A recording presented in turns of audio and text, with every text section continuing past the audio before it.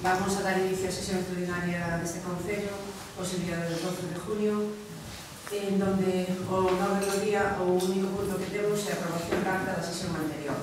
Acta ordinaria número 7 2019 con fecha 24 de marzo do 2019.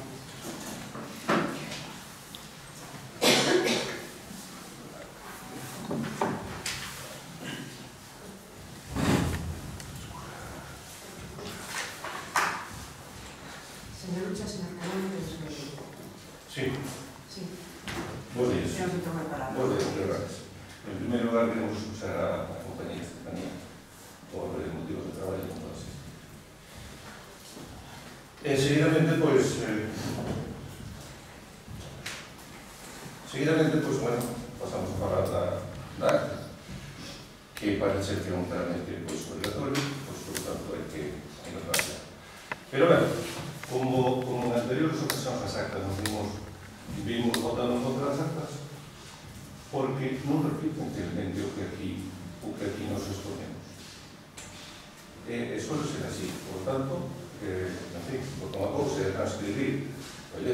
interna e outra cousa é darlle o sentido, nos, o sentido das cousas que nos estamos falando aquí. E creo que iso non queda revisado. Entón, eh, estiven repasando, estive repasando a acta, porque repasando a acta, estive vendo nelle tamén para contrastar, xa que temos unha única cuestión que debemos facer, pois, pois mirada a mirada, non? Entón, hai moitas, moitas eh, cousas que que se omiten, que, que non se mencionan, e que, mm, en fin, cousas importantes, ademais.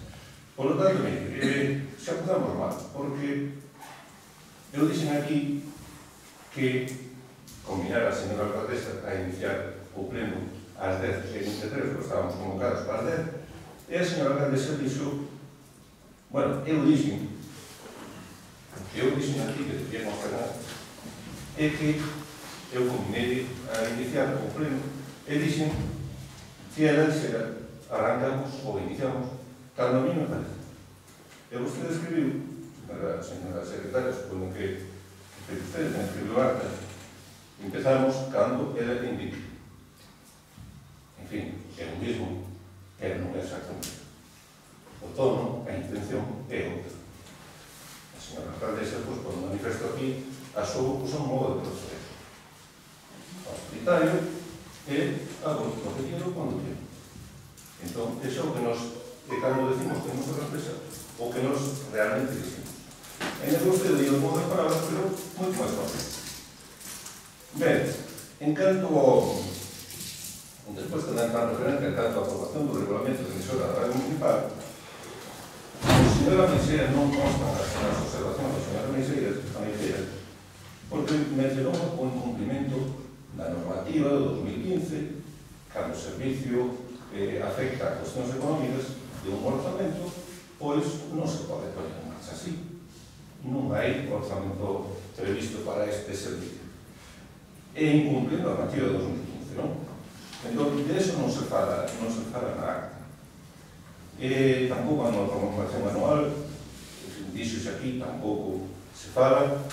E eh, houve un recurso do Grupo Socialista, tampouco se menciona, na acta, é dicir, son todos bastante, son todos bastante eh, importantes, pero non se menciona nada. Por lo tanto, non se está reflexando o que nos decimos. E falando deso, nos fixemos unha serie de preguntas, en canto ao regulamento, e eh, de dar notas para ello, porque non contestou. Eh, preguntábamos que se si ten un custo económico a creación do Consello de Administración, non contestou, a ubicación de antenas, se fai falta un informe de avaliación medioambiental, tampouco contestou, se ten todos os permisos da Dirección Xeral de Telecomunicacións, eh, etc., tampouco se contestou, en fin. Despois, en canto ao, a moción que trouxe aquí o señor Misiras de Misiras de, de ausencia, pois non foi aceptada a ausencia. E, en fin, bueno, pues, decía que era por 48 horas de antelación, querías presentar, que serían admitidos, que tiñamos ese acordo, que vostede eh, estaba velando, pois non quería eh, facer un feo a, a dotación socialista. Bueno, pois, eh, en fin, o tema das 48 horas, que non deixou decirlo, de feito, tiño unha chamada agora, non porque haya decirlo, o tema das 48 horas de antelación para poder presentar a moción de urgencia, puso vostede. Non se apertaba moito, non se apertaba Os menos libros temos que petar este libro, pero non porque hayamos acordado aquí que se haya consensuado. Entón,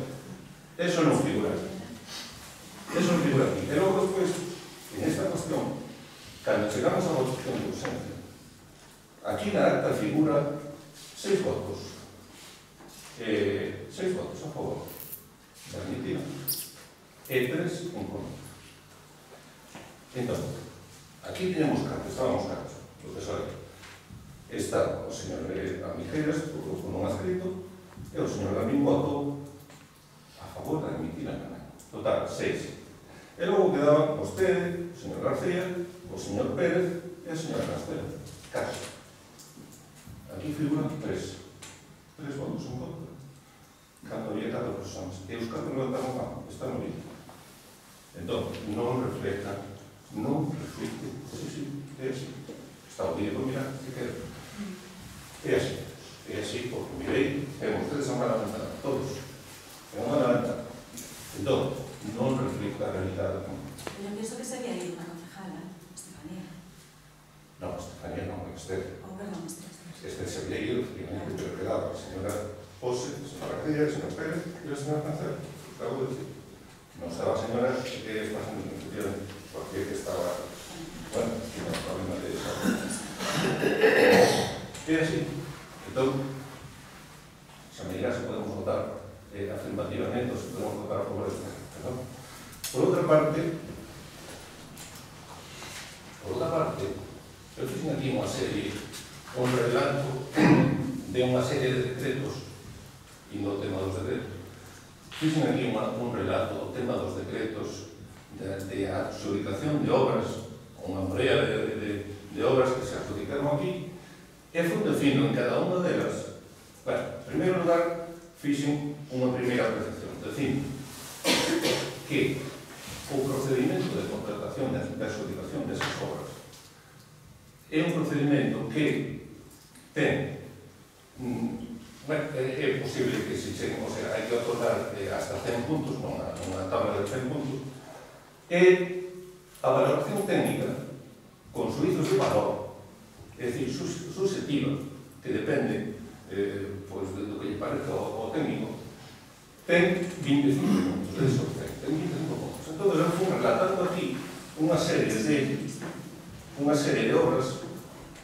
Fui relatando aquí unha serie de obras. E dicindo por canto se contratou e por canto había ofertas máis baixas e fui relatando a diferencia de tal maneira que a diferencia das obras que vostedes adxudicaron en relación coas ofertas máis baixas que había aquí que, se, que, que eu mencionei que aquí non se menciona aquí dice básicamente que eh, para onde a adjudicación de obras. Pero a diferencia en, a diferencia entre o que vostede adjudicou e as ofertas que había é de 226.000 euros. É dicir, podías haber acordado 226.000 euros se non fora polo, pola valoración técnica de suizos de valor objetivos do centro.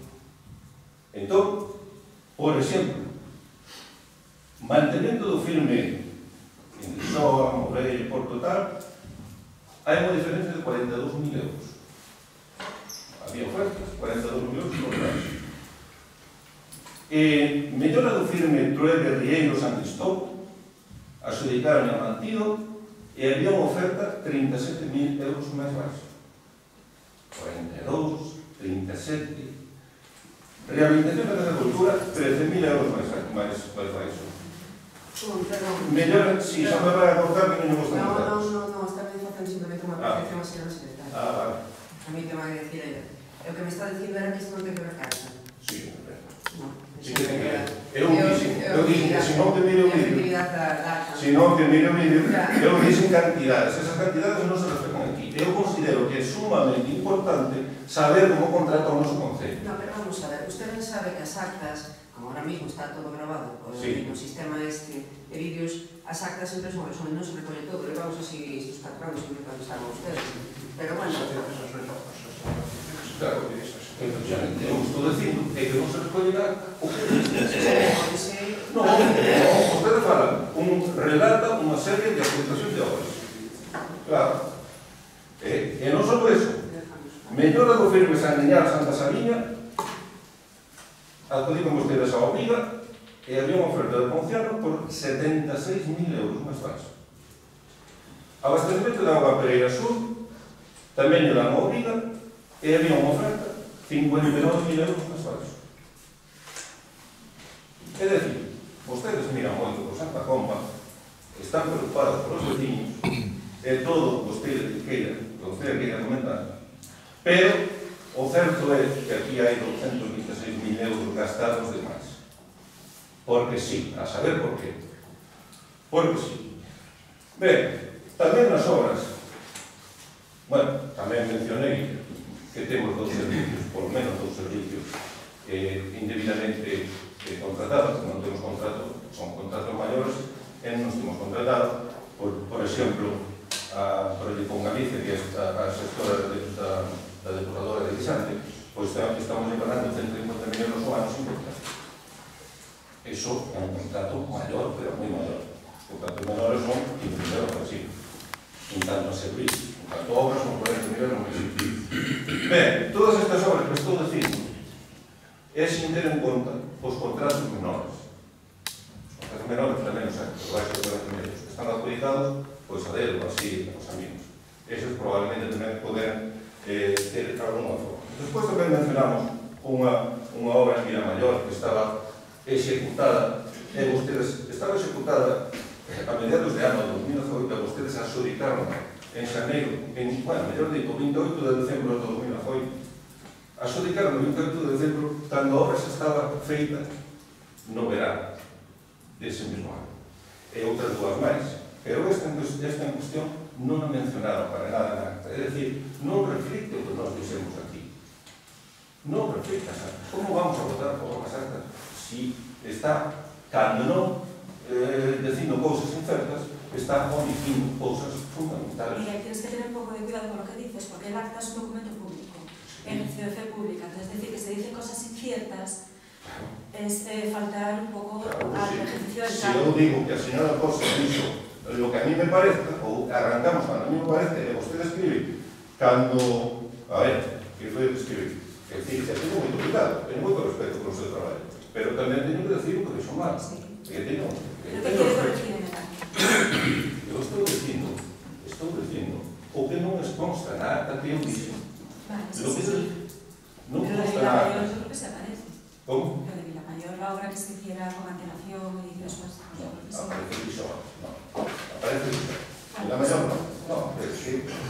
evidentemente pasarei per mirando esto que os digo, a ver, sono andato avanti. Ben,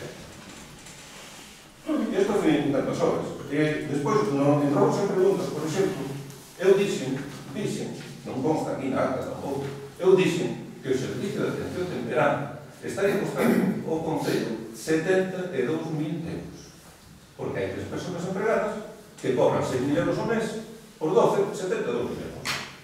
Eu dixen, non consta aquí.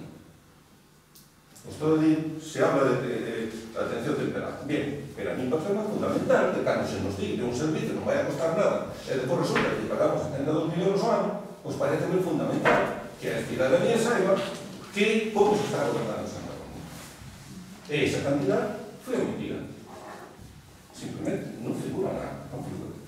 Tampouco figura, cando falamos aquí do Cuando vamos aquí, de que se tomou unha factura do ciclo integral da auga, pois resulta que a 30 de novembro tiñan un informe que decía que o máis ventaxoso para o Concello era facer unha concesión de servicio, contratar unha empresa.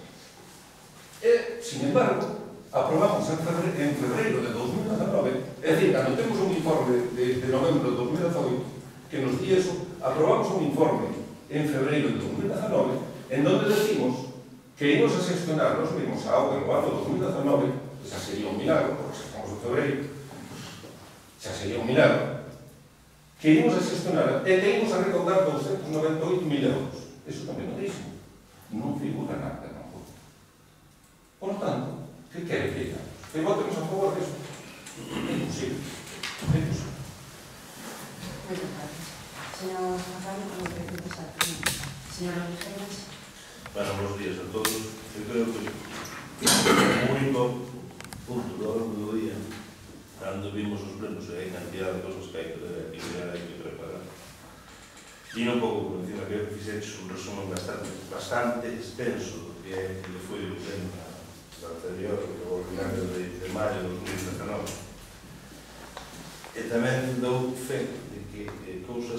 dixeron aquí, que están grabadas no, nos vídeos que se colgan en Youtube, non consta, non consta desta acta de sesión do pleno ordinario.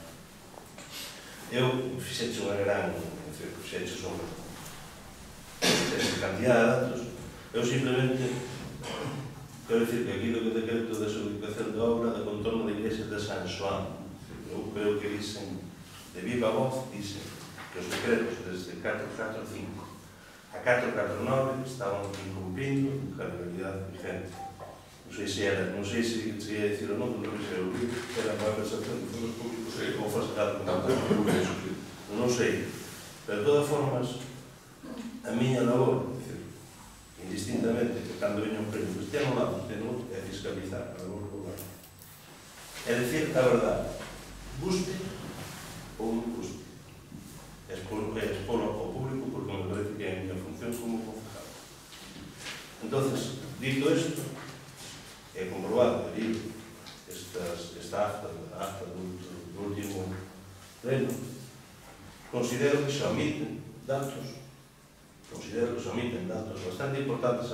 relevantes, porque este é un acta público dun pleno. Iso é unha grabación. Non sei que potestad ten unha grabación ou unha acta. Creo que son distintas, desde o punto de vista público. Ahora, eu cometo unha sugerencia, por tanto, tomo conhecimento e poño fica ben datos que me parecen que e a partir de aí houve uns, datos, uns mensajes de internet donde a unha xente nos pongo indistintamente, a unha xente do organigrama de, do elenco da, da, do recurso do goberno, donde nos pon como HP. no HP non sei se somos hermandade, tío, ou humanos pobres, eu non sei o que somos. Pero eu simplemente pido que a miña labor como concejal, a labor non nos convenimos, como concejal, hai que eh, defender, é dicir, é fiscalizar, é dar público as verdades. porque as verdades non deberían de ofender a nadie, a nadie. O que sí pode facer daño son as mentiras e as calumnias.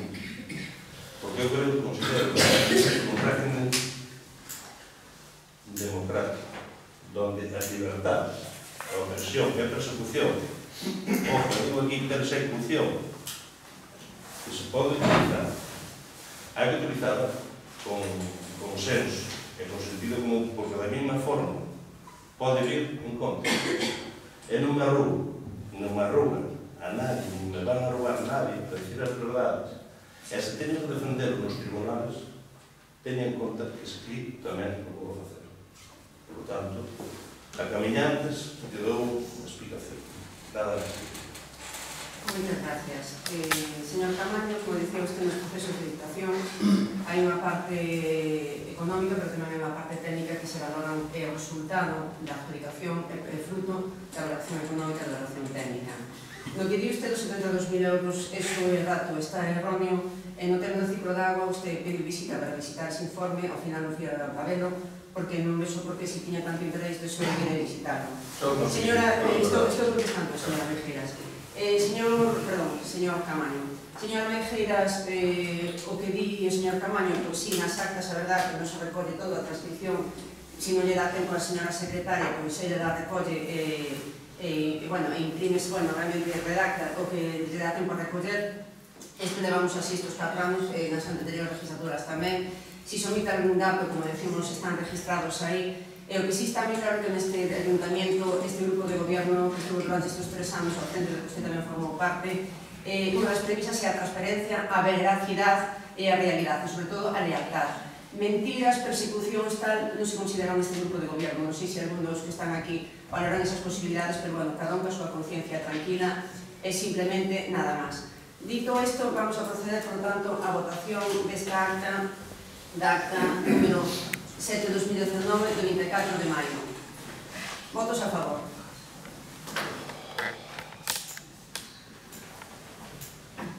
Votos en contra. Abstencións.